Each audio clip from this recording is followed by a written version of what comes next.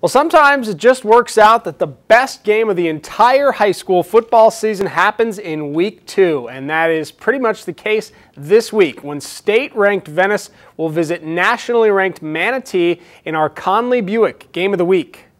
Venice is coming off a 32 7 thumping of what most people thought was going to be a very strong Palmetto team. The Indians look good in all phases, having won their kickoff classic game easily as well. Manatee is coming off a rout of 11-time Maryland state champ Gilman, 44 14 Sunday on national TV.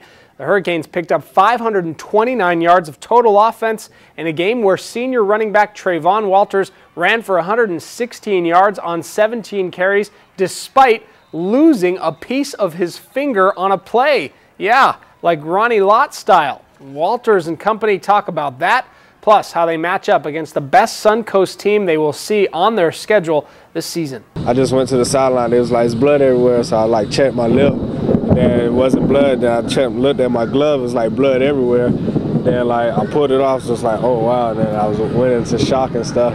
But then I found the uh, other, the, like if you like take this whole part off, just snatch it off, it's all that's off. And I found that inside my glove. We don't really change a whole lot of what we do.